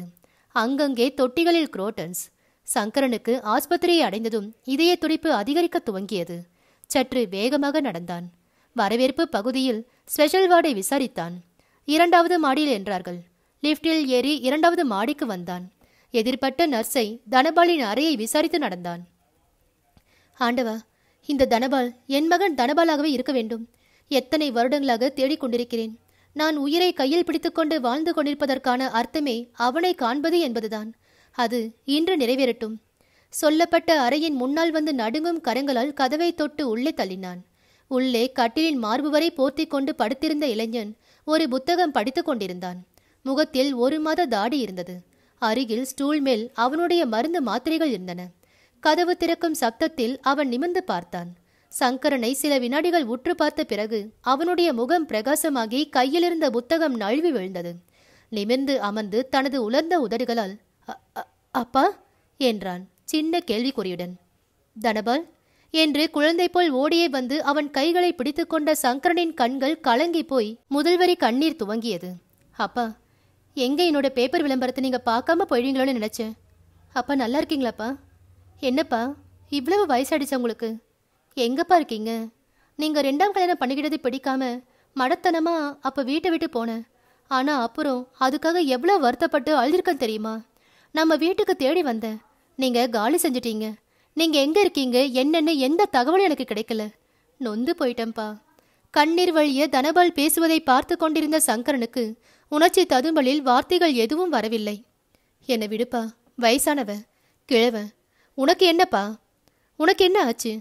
எதுக்காக இந்த ஆஸ்பத்திரி இருக்க? என்னென்னவோ விளம்பரத்தில் இருந்ததே. அதெல்லாம் சும்மா விளையாட்டுக்கு தானே? தனபால் அமைதியானான். இல்லப்பா. என்னால் இந்த ஆஸ்பத்திரி விட்டு இந்த கட்டிலை விட்டு ஒரு அங்குலம் கூட நகர முடியாதுப்பா. என் இடுப்புக்கு கீழே உணர்ச்சியே இல்லை. ரெண்டு காலம் என்னை பொறுத்த வரைக்கும் மரக்கட்டதா என் மூளைக்கும் அதுக்கும் தொடர்பு விட்டு போச்சு. என்னால் இடுப்புக்கு கீழே என் இஷ்டப்படி காலை தூக்கவோ அசைக்கவோ முடியாது. தனபால் வீறிட்டான் சங்கரன். ஏன் இப்படி? மூளையில ஒரு வினோதமான கட்டி வந்திருக்குப்பா. அதை ஆப்ரேட் பண்ணவும் வாய்ப்பில்லை. ரொம்ப முத்தி போச்சா. கையை வச்சா உடனே நான் செத்துருவேன். ஆப்ரேஷன் பண்ணாம விட்டா இன்னும் பத்து பதினஞ்சு நாள் உயிரோட இருப்பேன். என்னடா? இவ்வளவு சாதாரணமாக சொல்கிற வேற நல்ல டாக்டரா பார்க்கலாம். எவ்வளவு செலவேனாலும் செஞ்சு வைத்தியம் பண்ணலாம். என்கிட்ட காசு இருக்கு. லட்ச ரூபாய்க்கு மேல இருக்கு. சொல்லு எந்த டாக்டரை பார்க்கணும்? விரத்தியாக சிரித்தான் தனபால். பிரயோஜனம் இல்ல. இந்த துறையில உள்ள மிகப்பெரிய டாக்டர் எல்லாம் என்னை பரிசோதிச்சு பார்த்துட்டாங்க. நான் இந்த ஆஸ்பத்திரியில கிட்டத்தட்ட ஒரு வருஷமா இருக்கேன்ப்பா. இன்னும் ரெண்டு வாரம் தான் என் வாழ்க்கைன்னு டாக்டர் உறுதியா ரெண்டு நாளைக்கு முன்னாடி சொன்னாரு. அதுக்கப்புறம் தான் அந்த விளம்பரம் கொடுக்க சொன்னேன். சாகிறதுக்குள்ள உங்களை பார்த்துடணும்னு நினைச்சேன். பார்த்துட்டேன். என் கடைசி ஆசை நிறைவேறிடுச்சு. இனிமே நான் சந்தோஷமா செத்து போவேன்ப்பா. சங்கரனுக்கு கட்டுப்படுத்த முடியாமல் அழுகை வந்தது. அப்படி சொல்லாதப்பா. இத்தனை வருஷம் கழிச்சு நான் உன்னை இந்த நிலைமையில சந்திக்கணும். தனபால் ஊர்ல உலகத்துல இல்லாத வியாதி உனக்குத்தானே வரணும்? இது வியாதி இல்லப்பா. ஒரு விபத்தோட விளைவு. என்ன விபத்து? கோயம்புத்தூர்ல ஒரு பெரிய நகைக்கடையில போன வருஷம் ஒரு வெடிகுண்டு வெடிச்சது தெரியுமா? ஆமா. அப்ப அங்க கடைக்கு நகை வாங்க நானும் வந்திருந்தேன். அந்த விபத்துல பதினேழு பேர் செத்து போனாங்க. ஒன்பது பேர் படுகாயம். அந்த ஒன்பது பேர்ல நானும் ஒருத்தன். எனக்கு தலையிலையும் கழுத்துலையும் பெரிய காயம். வெடிகுண்டு வெடிச்சு சிதறதுல ஒரு பகுதி என் மண்டையை பொத்துக்கிட்டு மூளையில ஒரு பகுதியில் போய் சிக்கிடுச்சு. ஆப்ரேஷன் பண்ணி அதை எடுத்துட்டாங்க. ஆனாலும் அதுல ஒரு பகுதி தங்கி செப்டிக் ஆகி கட்டி மாதிரி வளர்ந்து என்னை பாடா படுத்துக்கிட்டு இருக்கு. யாரோ வன்முறைக்காரங்க எந்த அரசாங்கத்துக்கோ எதிர்ப்பு காட்டுறதுக்காக வெடிச்ச குண்டு என்ன மாதிரி அப்பாவிகளை பாதிச்சிடுது. என்ன செய்யறது சங்கரன் உறைந்து போய் நின்றான். அவனுக்கு நன்றாக நினைவிருந்தது. கோவை சம்பவத்தில் குறிப்பிட்ட அந்த வன்முறை கும்பலுக்கு சென்னையிலிருந்து அந்த வெடிகுண்டுகளை கொண்டு சென்று ஒப்படைத்து பணம் வாங்கி வந்தது அவன்தான். எத்தனை பெரிய பாவி நான். என் மகனின் இந்த மோசமான நிலைக்கு மறைமுகமாக நானும் ஒரு காரணம். பொங்கி அழுத்துவங்கிய சங்கரன் தன் முகத்தில் மடார் மடார் என்று அடித்துக்கொண்டு தனபால் என்னை மன்னிச்சிருப்பா. நான் கூட இதுக்கு ஒரு காரணம். என்னப்பா சொல்றீங்க? ஆமாண்டா. நான் ஒரு மோசமான தொழில் ஈடுபட்டு இருக்கேன். என்னை நீ ஈனமாக பார்த்தாலும் சரி மூஞ்சில காரி துப்புனாலும் சரி என் மனசுக்கு பிடிக்காம ஆனா ஒருவித விரக்தியில இந்த கொடுமையான தொழில இருக்கேன் ஒன்றும் புரியலையேப்பா. தமிழ்நாட்டில் அங்கங்க நிறைய கலவரம் வெடிகுண்டு வெடிக்கிறது இதெல்லாம் நடக்குதே. இதுக்கு அந்தந்த கும்பல்களுக்கு ஒரு குரூப் ஆயுதங்களை சப்ளை பண்ணி வியாபாரம் பண்ணுது. அதில் நானும் ஒரு கையாளு. அப்பா! என்னை அப்படி பார்க்காதடா. உன்னை எழுந்துட்ட சோகம். அதுதான்டா. என்னை வாழ்க்கையில் எந்த பிடிப்பும் இல்லாமல் இப்படி ஒரு கும்பலோட சேர்ந்து பாவகாரியம் பண்ண வச்சது. என்னைக்காவது ஒரு நாள் உன்னை பார்த்து நான் காலில் விழுந்து மன்னிப்பு கேட்டுட்டு தற்கொலை பண்ணிக்கிறோம்னு இருந்தேன். ஆனா உன்னோட சாவுக்கே நாள் குறிச்ச நான் ஒரு அடிப்படை காரணகர்த்தாவா வந்து சேருவேன்னு கனவுலையே நினைக்கல. நான் வரேன். தப்பு. போறேன். நேரா சமுத்திரத்துக்கு போறேன். ஒரேடியா போயிடுறேன். இனிமே நான் உயிரோட இருந்தா அது பெரிய பாவம். சங்கரன் உணச்சசப்பட்டு எழுந்து வேகமாக வாசலை நோக்கி நடக்க அப்பா நான் சொல்றது கொஞ்சம் கேளுங்க. இப்படி வாங்க தயவு செஞ்சு என்ற அவளின் கண்டிப்பான குரல் தடுத்து அந்த உத்தரவிற்கு கட்டுப்பட வைத்தது. இல்லைடா நான் சாகிறதுதான் நியாயம். வாழ வேண்டிய உனக்கு சாவு நிச்சயமாக இருக்கிறப்ப ஊர் பூரா நூற்றுக்கணக்கான பேரை சாகடிக்கிற வேலையில இருந்தேன்னா வாழ்றது சரியில்லை. போயிடுறேன் நான் போயிடுறேன் உனக்கு முன்னால நான் போயிடுறேன் அப்பா கொஞ்சம் பொறுமையா இருங்க. நம்ம சந்திப்பு மாதிரி உலகத்திலேயே ஒரு வினோதமான சந்திப்பு இருக்க முடியாது. அப்பா ஒரு சமூக விரோதி பையன் அப்படிப்பட்ட சமூக விரோதிகளை பிடிச்சு தண்டிக்கிற போலீஸ் அதிகாரி. வினோதமா இல்லை? நம்ம சந்திப்பு. தனபால் நீ போலீஸ் ஆஃபீஸரா ஆமாம்ப்பா சப் இன்ஸ்பெக்டர் உடல்நலம் காரணமாக என்னை வேலையிலேருந்து நீக்கிட்டாங்க. எனக்கு அதுவே ஒரு பெரிய அவமானம்.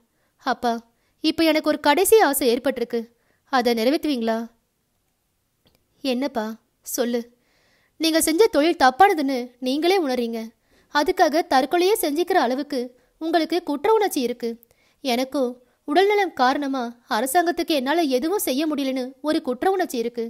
நம்ம ரெண்டு பேர் குற்ற உணர்ச்சி நீங்க ஒரு யோசனை சொல்லட்டுமா? சொல்லு தனபால். நீ எது சொன்னாலும் நான் கேட்குறேன் கண்டிப்பா. நிச்சயமா. பலவிதமான சமூக விரோத கும்பல்களுக்கு துணை போற நீங்க சேர்ந்திருக்கிற ஆயுதம் வியாபாரம் செய்யற கும்பலை நீங்க ஏன் போலீஸுக்கு காட்டி கொடுக்க கூடாது? சங்கரன் அமைதியாக தனபாலின் முகத்தை பார்த்தான். உங்க கும்பலை காட்டி கொடுக்க தயங்குறீங்களா? உங்க உயிருக்கு எதுவும் ஆகாம நான் பாதுகாப்பு கொடுக்க ஏற்பாடு செய்யறேன். தனபால் என் கடைசி ஆசைன்னு ஒரு வார்த்தை சொன்னியே. அதை நிறைவேற்றுறதை விட என் உயிரை எனக்கு பெருசு. சொல்லுப்பா நான் என்ன செய்யணும்? நீ சொல்றத செய்யற. எனக்கு எல்லாம் தெரியும். எங்க கும்பலுக்கு யார் தலைவன்? எப்படி வியாபாரம் நடக்குது? இந்தியாவில் இதில் ஈடுபட்டிருக்க முக்கியமான புள்ளிங்க யாரு? இது அத்தனையும் தெரியும். போலீஸ்ல சரண்டர் ஆகி எல்லாத்தையும் சொல்லிடட்டுமா? அப்ப உனக்கு திருப்தியா? எனக்கு வர தண்டனையை பத்தி எனக்கு கவலை இல்லை. தனபால் நெகிழ்ந்து போய் சங்கரனை பார்த்தான். தனபால் என் கும்பல் பற்றின அத்தனை விவரங்களையும் ஒரு நோட்டு புஸ்தகத்துல அப்பப்போ எழுதி ஒரு இடத்துல பத்திரப்படுத்தி வச்சிருக்கேன் என் தலைவன் திடீர்னு என்ன முறைச்சிக்கிட்டா அவனை திரும்ப மிரட்டுறதுக்கு ஒரு துருப்பு சீட்டா இருக்கட்டும்னு அப்படி ஏற்பாடு செஞ்சு வச்சேன். அதுல என்ன விலைக்கு வாங்குறாங்க எந்தெந்த கார்ல கடத்துறாங்கன்னு முழு விவரமும் குறிச்சு வச்சிருக்கேன். என் மனசுல ஞாபகத்துக்கு வராத சில விவரங்கள் கூட அதுல இருக்கும். அதை எடுத்துட்டு வந்துடுறேன். அப்புறம் நீ எங்க? யார்கிட்ட சரணடைய சொல்றியோ அங்க சரணடைஞ்சிடுறேன் சரிதானே. சரிப்பா. நீங்க செஞ்ச பாவங்களுக்கெல்லாம் அதான்ப்பா சரியான பிராய்ச்சித்தமா இருக்க முடியும். என்றான் தனபால். நான் ஒரே மணி நேரத்துல அந்த நோட்டோட இங்க வந்துடுற தனபால். சங்கரன் அந்த அறையை விட்டு வெளியேறினான். இரண்டு நிமிடங்கள் அனுமதித்து அதன் பிறகு போர்வையை விலக்கிவிட்டு கட்டிலிலிருந்து இறங்கி நடந்து அரைக்கதவை தாழ்பால் போட்டுவிட்டு பாத்ரூம் கதவை தட்டினான் அந்த இளைஞன். உள்ளே இருந்து டேப் சாதனங்களுடன் வினில்குமாரும் தீப்தியும் வெளியே வந்தார்கள். வினில்குமார் அவன் கைப்பற்றி குலுக்கி ஒரு போலீஸ் ஆபீசருக்கு நடிப்பு திறமையும் அவசியம்னு நிரூபிச்சிங்க மிஸ்டர் ராஜேந்திரன். ஒண்டர்ஃபுல் ஆக்டிங் நாங்களே அசந்துட்டோம். நடிப்பு என்னோடதா இருந்தாலும் கதை வசனம் டைரக்ஷன் நீங்க தானே சார் சொன்னபடி செஞ்சேன். உங்க அப்ரோச்சே வித்தியாசமா இருக்கு. எஸ் குற்றவாளிகளும் மனுஷங்க தான் அவங்களுக்குள்ளேயும் சென்டிமெண்ட்ஸ் மிச்சம் இருக்கும். முழு நேர குற்றவாளின்னு எவனும் கிடையாது. அதனால தான் ஜெயிலுக்கு ஆயுத குற்றங்களை சம்மந்தப்பட்டவங்க உள்ளே போனவங்க லிஸ்ட்டு கேட்டேன். அதில் முதல் கட்டமாக மெட்ராஸ் சென்ட்ரல் ஜெயிலில் இருந்தவங்கள எடுத்துக்கிட்டேன். அவங்க இப்போ என்ன செய்கிறாங்கன்னு விசாரிக்க சொன்னேன். பல பேர் திருந்தி வேற தொழிலுக்கு போயிட்டாங்க. தகவல் தெரியாத அங்கே அவன் இருந்த காலத்தில் கூட இருந்த மற்ற கைதிகளை எல்லாம் பொறுமையாக விசாரித்தேன் அவன் பின்கதை கிடைச்சிது. பத்து வயசில் ஒரு பையன் ஓடி போனதால அந்த சோகத்தில் இந்த தொழிலுக்கு வந்ததை அவன் பல பேர்கிட்ட புலம்பியிருக்கான். அதை வச்சு தீர்மானிச்சேன் நியூட்டன் உங்களை செலக்ட் பண்ணி நடிப்புக்கு அனுப்பி வச்சாரு. நான் எதிர்பார்த்த மாதிரியே இந்த சங்கரன் அந்த நெட்ஒர்க்கில் இருக்கிறதோட பாச தூண்டிலும் கரெக்டாக மாட்டிடுச்சு. ஒரு பெரிய நெட்வொர்க்கோட அத்தனை தகவலும் இன்னும் கொஞ்ச நேரத்தில் லட்டு மாதிரி நம்ம கைக்கு வரப்போகுது என்றான் வினில்குமார் சற்று பெருமிதத்துடன். தீப்தி உச்சி கொட்டி சார் ஏதோ ஒர்க் அவுட் ஆயிடுச்சுன்னு பேசுகிறீங்க ஆனா இது கொக்கு தள்ளில் வெண்ணெய் வைக்கிற சுத்து வழிதான். எனக்கு இந்த அப்ரோச்சில் உடன்பாடே இல்லை. சீனியர் சொல்கிறத கேட்டாகணும். வேற வழி இல்லாமல் ஒத்துழைச்சேன். This is a long shot உனக்கு அதெல்லாம் புரிய இன்னும் வயசு வேணும் அனுபவம் வேணும். எல்லா கேஸ்கள்லையும் தடலடி காமிச்சிட்டு கூடாது. அனாவசியமாக எதுக்கு ரெண்டு பேரும் சண்டை போட்டுக்கிறீங்க? இது வரைக்கும் சங்கரன் என்ன அவன் பையன் நம்பிட்டான். உணர்ச்சிசப்பட்டு சண்டராக ஒப்புக்கிட்டான். அந்த அவனோட துருப்பு சீட்டோட மறுபடி திரும்பி வருவானா? என்றான் ராஜேந்திரன். நிச்சயமா வருவான் ஒருவேளை திடீர்னு இந்த செட்டப் மேல சந்தேகம் வந்து திரும்பி வராம போயிட்டானா எதுக்கும் அவனை ஃபாலோ பண்ணி அவன் எங்க போறான் என்ன செய்கிறான்னு கண்காணிக்க ஆள் ஏற்பாடு செஞ்சுக்கலாம். மிஸ்டர் ராஜேந்திரன் இது அரிச்சுவடியான விஷயம். இது நான் செய்ய விடுவேனா? உங்க தலைவர் நியூட்டன் இப்போ சங்கரனை நிழல் மாதிரி ஃபாலோ பண்ணிட்டு இருப்பாரு என்றான் வினில்குமார் கிரேட். என்ன கிரேட்டோ?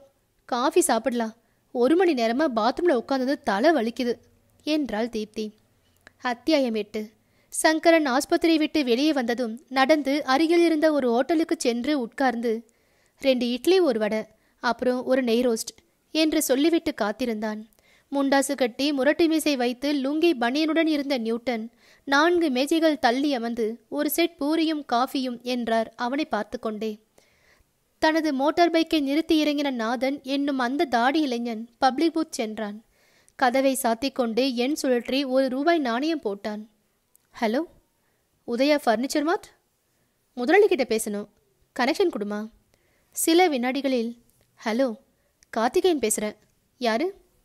வணக்கம் முதலாளி நாதன் பேசுகிறேன் அடையார்லேருந்து பேசுகிறேன் சொல்லு நீங்கள் சந்தேகப்பட்டது சரியாக போச்சுங்க முதலாளி. அந்த பேப்பர் விளம்பரம் போலி. நம்ம சங்கரனை வலைவீசி இழுக்க போலீஸ் செஞ்ச ஏற்பாடு. தனபாங்கிற பேர்ல இங்க ஆஸ்பத்திரியில படுத்து கிடந்து பேசினது ஒரு போலீஸ் அதிகாரி. சபாஷ் பேப்பரை பார்த்ததுமே எனக்கு பொறி தட்டுச்சு. தனபால்ங்கிறது நம்ம சங்கரனோட ஓடிப்போன பயலாச்சேன்னு நினைப்பு வந்துச்சு. அதனால தான் சங்கரனுக்கு தெரியாம அவனை தொடர சொன்னேன். நம்ம எல்லாருக்கும் வேட்டு வைக்கிற அளவுக்கு வந்துட்ட நம்ம தாத்தா. என்னடா சொல்ற? விரிவாக எல்லாம் சொன்னான் அந்த நாதன். எனது சந்தர்ப்பம் வந்தா என்ன மிரட்டுறதுக்காக துருப்பு சீட்டா? எல்லா விவரமும் எழுதி பத்திரப்பத்திரிச்சிருக்கண்ணா ஆமாம் அப்படி தான் சொன்னான் உள்ள அவங்க ரெண்டு பேரும் பேசினதை நான் மைக் வச்சு துப்புரவா ஒட்டு கேட்டேன் முதலாளி. நர்ஸுக்கு நூறு ரூபாய் தள்ளி காலையிலேயே மைக் ஒழிச்சு வச்சிட்டேன். நான் பொய் சொல்லலை நம்புங்க. உன்னை நம்புற சங்கர் நமக்கு துரோகம் செய்ய முடிவு செஞ்சிட்டானா? ஆமாங்க. ரொம்ப ரொம்ப தப்பாச்சே. அந்த துருப்பு சீட்டை தூக்கி அவங்க கையில் தரப்போறானாமா ராஸ்கல். எங்கே இருக்கா இப்போ அவன் பக்கத்தில் ஒரு ஹோட்டலில் டிஃபன் சாப்பிட்டுட்டு இருக்கான். அப்படியா? நமக்கு துரோகம் செய்ய நினைச்சாலே அந்த ஆளை உடனே மேலே அனுப்பிச்சிருது வழக்கம். நாதன் உன் பாக்கெட்டில் என்ன இருக்குது சைனைட்டு தருவின கத்தி தயாராக இருக்குது சார். நீங்கள் உத்தரவு கொடுத்துட்டீங்கன்னா இன்னும் என்ன உத்தரவு கொடுக்கறது? அவன் இப்போ சாப்பிட்ட டிஃபன் தான் கடைசி டிஃபனாக இருக்கணும். கச்சிதமாக சாமர்த்தியமாக முடிச்சுட்டு மாட்டிக்காமல் வந்துரு. என்ன? சரி சார். நாதன் ஃபோனை வைத்துவிட்டு பாக்கெட்டை தொட்டு பார்த்து கொண்டு நடந்தான். ஒரு பபிள்கமை வாயில் போட்டு மென்று கொண்டு அந்த சாலையில் ஒரு மறைவான இடம் தேட துவங்கினான். ஹோட்டலில் சாப்பிட்டு முடித்து வெளியே வந்து ஆட்டோ பிடித்து கொண்டான் சங்கரன். இத்தனை வருடம் கழித்து என் மகனை இந்த நிலையில நான் சந்திக்க வேண்டும்? அதிலும் அவன் நிலைக்கு நானுமா காரணமாக இருந்திருக்க வேண்டும்? சரி அவன் கடைசி விருப்பத்தையாவது நிறைவேற்றும் வாய்ப்பு கிடைத்திருக்கிறதே. என்ன ஒரு கொடுமை. இவனைப் போல் எத்தனையோ பேரின் வாழ்க்கையை நாசம் செய்ய நானும் உடந்தையாக இருந்திருக்கிறேனே. என் மகன் சொன்னது போல இதற்கெல்லாம் பிராய்ச்சித்தம் அந்த விவரங்கள் அடங்கிய நோட்டுடன் தனபால் சொல்லும் அதிகாரியிடம் சரணடைவதுதான். அதன் மூலம் என் கும்பல் முழுக்க பிடிபடும். பிடிபடட்டும். மக்கள் அமைதியாக நிம்மதியாக வாழட்டும். சிந்தனை வயப்பட்டிருந்த சங்கரன் எதேச்சியாக திரும்பி பார்க்க தனது ஆட்டோவின் பின்னால் தூரத்தில் பைக்கில் நாதன் வருவதை பார்த்து விட்டான் நாதனா? ஐயோ முதலாளி மிக முக்கியமான சந்தர்ப்பங்களில் உளவு பார்க்க மட்டும் அவனை அனுப்புவார். ஒருவேளை அவன் இப்போது என்னைத்தான் தொடர்ந்து வருகிறானோ? ஒரு நிமிஷம் வண்டி ஓரமா நிறுத்துப்பா. ஆட்டோ நின்றதும் சங்கரன் இறங்கி அருகிலிருந்த சிகரெட் கடையில் ஒன்று வாங்கி பற்ற வைத்து மறைமுகமாக பின்னால் கவனிக்க நாதன் தன் பைக்கை ஒரு ஓரமாக நிறுத்தி முகத்தை வேறுபுறமாக திருப்பிக் கொள்வதை கவனித்தான். கடவுளே சந்தேகமே இல்லை. நாதன் என்னைத்தான் தொடர்ந்து வருகிறான்.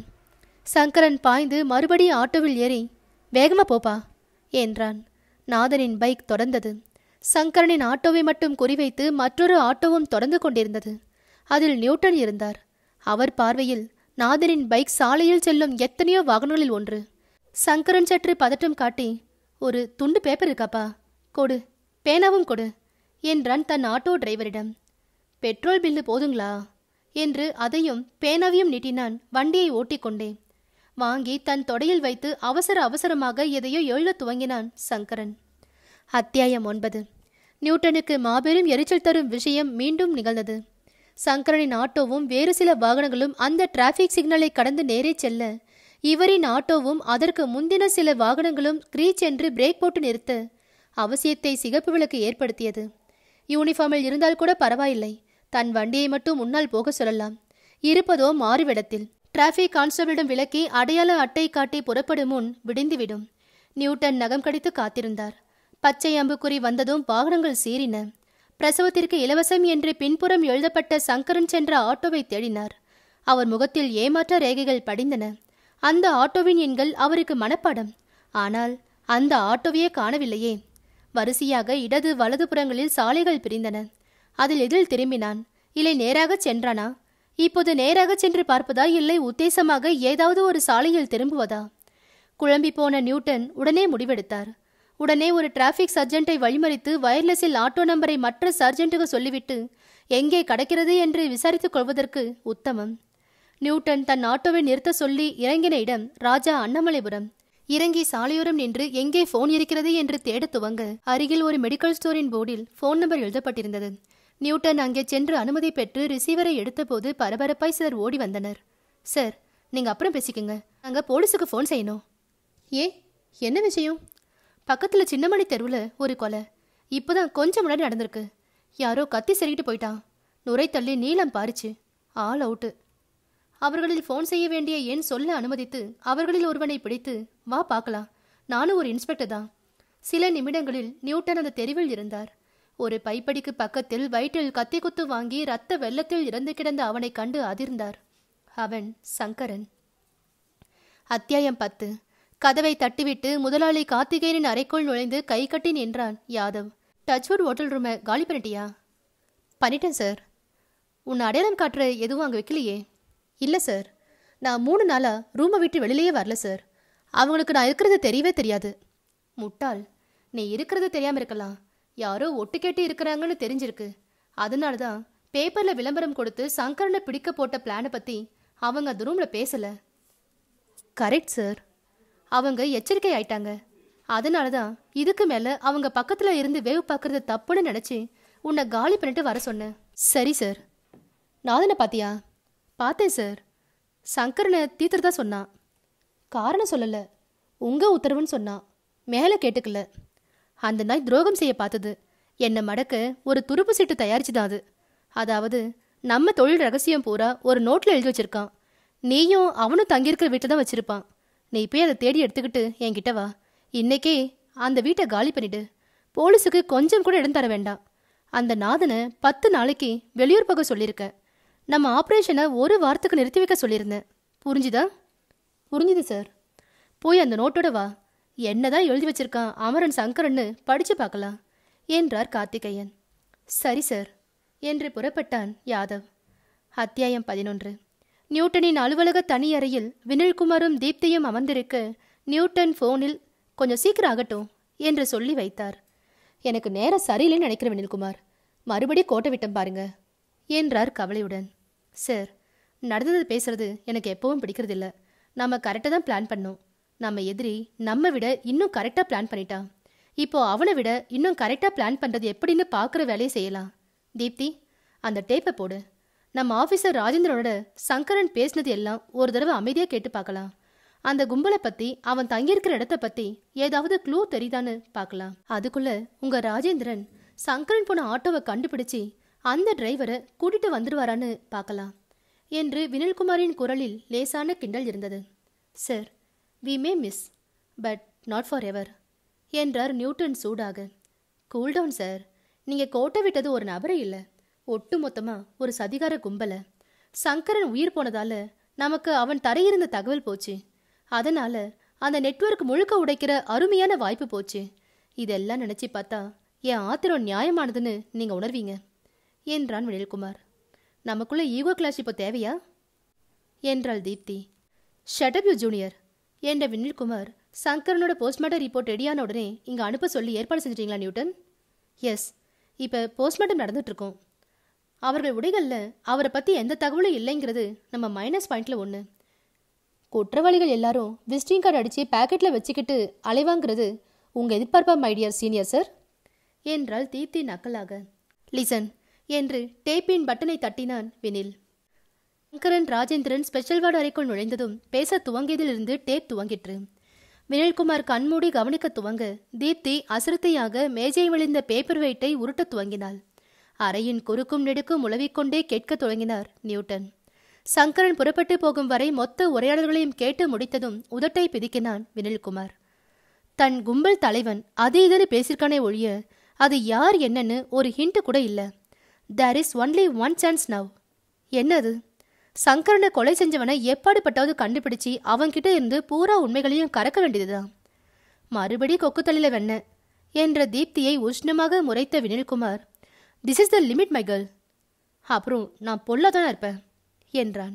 அரைக்கதவு தட்டப்பட்டு ராஜேந்திரன் உள்ளே வந்தார். சார் அந்த சங்கரன் பிரயாணம் செஞ்ச ஆட்டோ டிரைவரை கண்டுபிடிச்சு அந்த டிரைவரை கூப்பிட்டு வந்திருக்கேன் கங்க்ராட்ஸ் வினில்குமாரை ஒரு பார்வை பார்த்துவிட்ட நியூட்டன் உள்ளே வர சொல்லுங்க முதல்ல என்றார். அந்த ஆட்டோ டிரைவர் ஏதோ தானே குற்றம் செய்துவிட்டவன் போல நடுங்கிக் கொண்டே உள்ளே வந்தான்.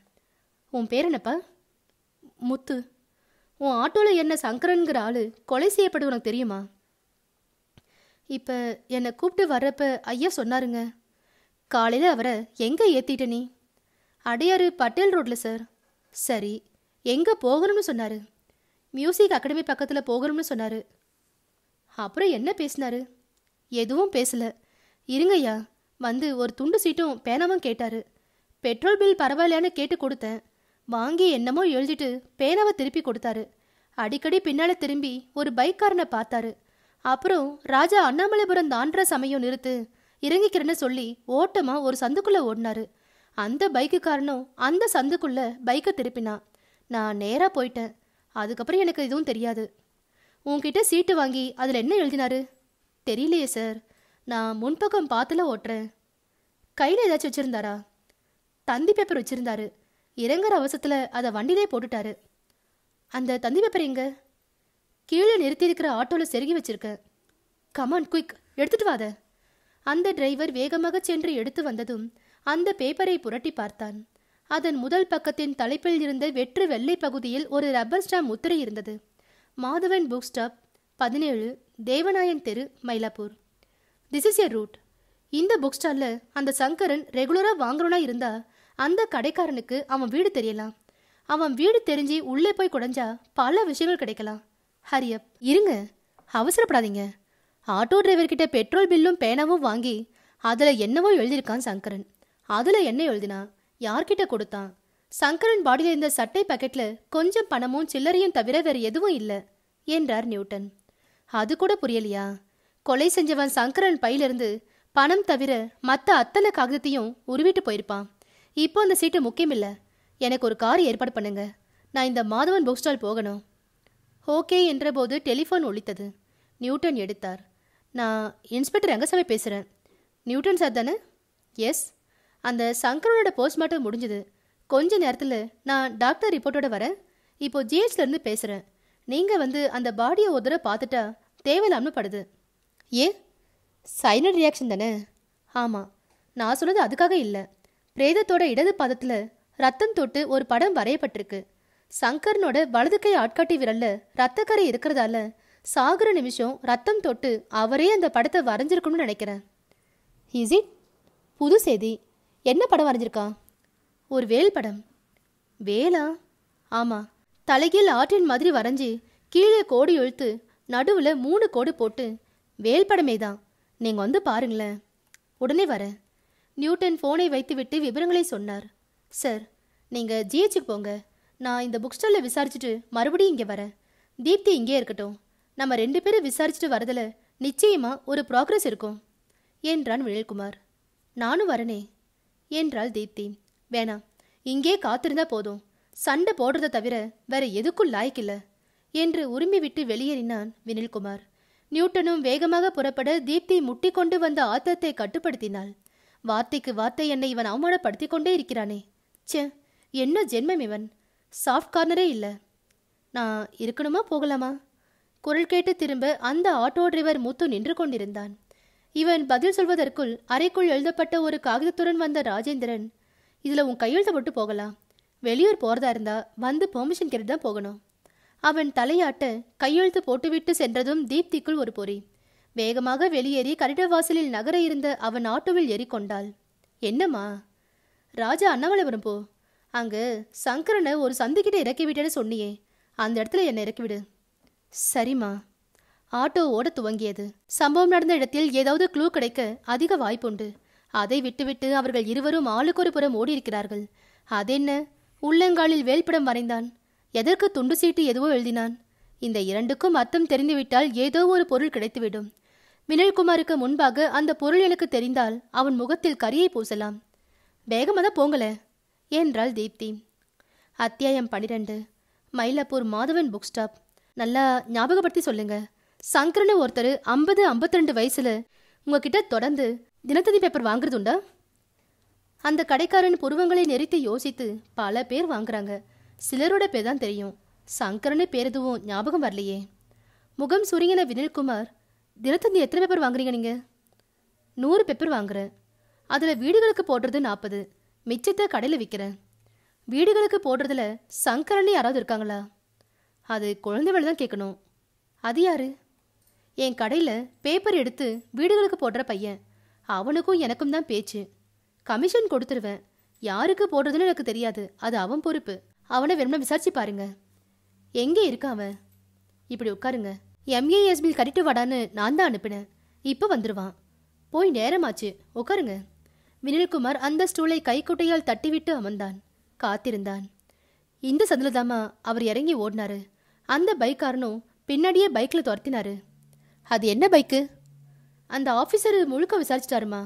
என்னை கூட்டிட்டு வர வழியில் நீங்கள் வேற கேட்டால் எப்படி? நான் பைக் நம்பரை பார்க்கல. அந்த ஆளு ஒல்லியா இருந்தான் தாடி வச்சிருந்தான் இந்த ரெண்டு அடையாளம் தவிர வேற எதுவும் எனக்கு தென்படல. சரி நான் இறங்கிக்கிறேன். நீங்க போகலாம். தீப்தி இறங்கிக் கொண்டாள் விசாரித்தாள். அது ராஜா தம்பி தெருவாம். கொலை நடந்த சின்னமணி தெருவுக்கு நான்கு தெருக்கள் தள்ளியதாம்.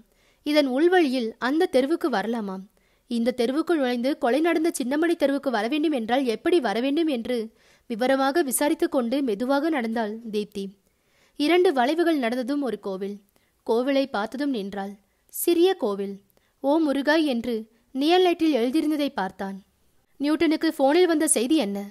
சங்கரன் தன் இடது உள்ளங்காலில் வேல் வரைந்திருந்தான். வேல். முருகன் கோயில். முருகன் கோவில். வேல். இந்த கோவிலை கடந்துதான் சங்கரன் ஓடியிருக்கிறான். எனில் இந்த கோவிலில் ஏதோ விஷயம் இருக்கிறது. தன் செருப்புகளை ஓரமாக கழற்றி போட்டுவிட்டு அந்த சிறிய முருகன் கோவிலுக்குள் சென்றாள்.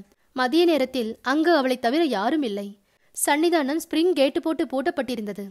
பிரகார புல்வெளியில் ஒரு ஆடு மேய்ந்து கொண்டிருந்தது. தீப்தி உள்ளே நுழைந்ததுமே அவள் கண்களில் பட்டது பிரதானமாக நிறுத்தப்பட்டிருந்த உண்டியல்தான். அந்த உண்டியலை பார்த்ததும் மற்றும் ஒரு பொறி. உடனே அதன் துவாரத்தில் ஒரு கண் வைத்து உள்ளே பார்க்க லேசாக நீட்டிக்கொண்டு மடிக்கப்பட்ட ஒரு சிகப்பு காகிதம் தெரிந்தது. உண்டியலில் பணம் காசு போடுவார்கள். கண்ட காகித குப்பையுமா போடுவார்கள்? சங்கரன் ஆட்டோ டிரைவரிடம் பெட்ரோல் பில் வாங்கி ஏதோ எழுதி போட்டது நினைவுக்கு வந்தது. ஒருவேளை இது தீப்தி உடனே கீழே தேடி ஒரு சிறிய குச்சி எடுத்து அதன் மூலம் மெல்ல மெல்ல அந்த சீட்டை நம்பி வெளியே எடுத்து அதன் மடிப்புகளை விரித்து பார்த்தாள். அது பெட்ரோல் வில்லைதான். பின்புறம் புரட்டி பார்த்து எழுதப்பட்டிருந்த வரிகளை படித்ததும் முகம் மலர்ந்து ஓட்டமாய் சாலைக்கு வந்து டாக்ஸி தேடினாள். குழந்தை வேலு சைக்கிளை விட்டு இறங்கியதுமே பிடித்து கொண்டான் வினில்குமார். கடைக்காரனிடம் கேட்ட அதே கேள்விகள். சங்கர்னா ஆமாம் சார். கூடவே யாதவ்னு இன்னொரு ஆள் இருப்பாரு. எனக்கு வீடு தெரியும் சார். நான் தினம் பெப்பர் போடுவேன். அவர் பையன் சின்ன வயசுல ஓடி போனது சும்மா சொல்லி புலம்பிக்கிட்டே இருப்பாரு. ஒரு ஆள் விடாம. அவரே தான் கார்ல வந்து உட்காரு வீட்டை காட்டு. பத்தே நிமிடங்களில் அந்த வீட்டுக்கு வந்தார்கள். வந்ததும் காத்திருந்தது ஏமாற்றம். அரை மணி நேரத்திற்கு முன்புதான் ஒரு வேனில் வந்து வீட்டை காலி செய்து கொண்டு போனார்கள் என்று தகவல் கிடைத்தது. காலி செய்யப்பட்ட வீட்டை திறந்து பார்க்க மற்றும் ஒரு ஏமாற்றம். ஒரே ஒரு குப்பை காகிதத்தை கூட வந்தவர்கள் விட்டு வைக்கவில்லை. வினில்குமார் தளர்வோடு நியூட்டனின் அலுவலகத்திற்கு புறப்பட்டான். என்னடா? எங்க போகும்? அவன் எழுதின நோட்டு? என்றார் கார்த்திகேயன் காட்டமாக. கை கட்டி நின்றான் யாதவ். சார் நீங்க சொன்னதும் முதல் காரியமா வேன் எடுத்துட்டு போய் அந்த வீட்டை காலி செஞ்சு எல்லா சாமானையும் கொண்டாந்து நாம கொட்டிவாக்கம் குடோன்ல இறக்கி அலசி பார்த்துட்டேன். அப்படி எதுவும் நோட்டு கிடைக்கல சார். நாதன் கெடுது பொய்யா? சங்கரன் தன் பையன்னு நினைச்சு அந்த ஆஸ்பத்திரியில் சொன்னது பொய்யா?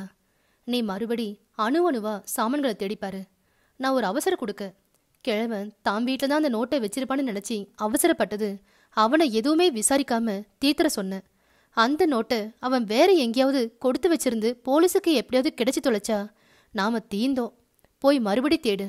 என்று கார்த்திகேயன் படபடப்பாய் பேச தலையாட்டி விட்டு வெளியேறினான் யாதவ். நியூட்டனின் அலுவலகத்தில் தன் காரை நிறுத்திவிட்டு அவரின் அறைக்குள் வந்தான் வினில்குமார். தீப்தி நாற்காலில் அமர்ந்து ஃப்ரூட்டி அருந்திக் கொண்டிருக்க. நியூட்டன் ஃபோனில் வேகமாக பலவிதமான உத்தரவுகள் இட்டு கொண்டிருந்தார். எவ்வளவு பெரிய ஏமாற்றத்தோடு நான் வந்திருக்க நீ ஜூஸ் குடிச்சிட்டு இருக்க என்றான் தீப்தியை பார்த்து. கூல்டவுன் வினில் என்று ஃபோனை வைத்த நியூட்டன். வரீங்களா? போய் உதயம் ஃபர்னிச்சர் மார்ட் கார்த்திகேயனையும் அவன் ஆட்களையும் ஹரஸ் பண்ணிட்டு வரலாம் என்றார். யாரது நாம தேடுற ஆயுத வியாபாரிகள். இவங்க தமிழ்நாடு கிளை. முதல்ல இவங்களை பிடிச்சி அப்புறம் மற்ற மாநிலத்தை பார்க்கலாம். எப்படி கண்டுபிடிச்சீங்க? சங்கரன் எழுதி வச்சிருந்த நோட்டு. அது ஏது? தீப்தியை கை காட்டினார் Newton. She is very brilliant பாராட்டி தான் தீரணும் என்று விளக்கமாக சொல்லி பெட்ரோல் பில் பின்னாடி ஒரு அட்ரஸ் அந்த அட்ரஸ்ல ஒரு கிறிஸ்டியன் ஃபாதர் தீப்தி எனக்கு ஃபோன் செய்ய ரெண்டு பேருமா போய் அவர்கிட்ட இருந்து சங்கரனோட நோட்டை வாங்கிட்டு வந்தோம். எக்கச்சக்கமான தகவல்கள் இருக்கு. வினில்குமார் முகம் கருத்து தீப்தியை பார்த்தான். அரெஸ்ட் பண்றதுக்கு நீங்களே போங்க. நான் கூட வரல. பிகாஸ் நான் ஒரு ஜூனியர் எதுக்கும் லாய்க்கு இல்லாதவ. என்றாள் தீப்தி. வினில்குமாரின் முகத்தில் மெல்ல மெல்ல சிரிப்பு வந்து கை நீட்டி அவள் கையை மென்மையாக குலுக்கி மை ஹார்ட்ரி கங்க்ராச்சுலேஷன் தீப்தி. என்னுடைய அனாவசிய ஈகோவுக்கு விடுதலை கொடுத்ததுக்கு தேங்க்ஸ் யூ வின் என்னை மன்னிச்சிடு. ரொம்ப தான் வெறிப்பேத்திட்டேன். என்றான். டேக் இட் ஈஸியா என்றாள் தீப்தி. கதை முடிந்தது. மீண்டும் அடுத்த ஒரு கதையில சந்திக்கலாம்.